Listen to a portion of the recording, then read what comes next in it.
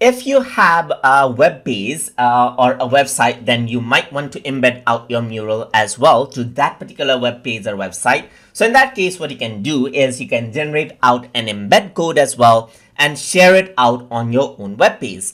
So in order to do that, you have to click on share first. And once you do that, you can go around on to the embed option over here on the bottom right, as you can see. So once you click on this, what happens is that it says embedding is disabled right now. So you have to click on enable embedding and it'll give you the code as you can see right here and even a link that you can embed right here. You can deactivate the embed link anytime that you want. So here you can see that there's an iframe code right here. So if you are familiar, uh, familiar with HTML, you can go around and then use this code to embed it onto your website or web page.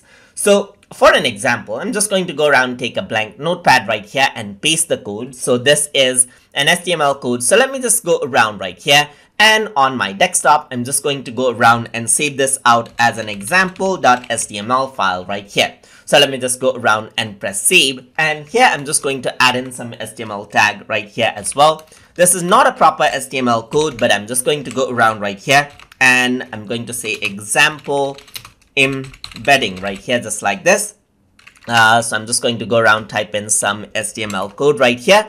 I'm going to say example embedding and I'm going to close around the HTML tag over here as well. I'm just going to go around and after the iframe, I'm just going to go around and type in, let's say, for example, this is going to be the H2 tag right here. And I'm going to say end of page right here, end of page just like this and save this out. So now I'm going to close this and I'm going to get out of the web browser and over here you can see that this is what you have. So if I were to double click, you can see the example embedding and the text right here is there.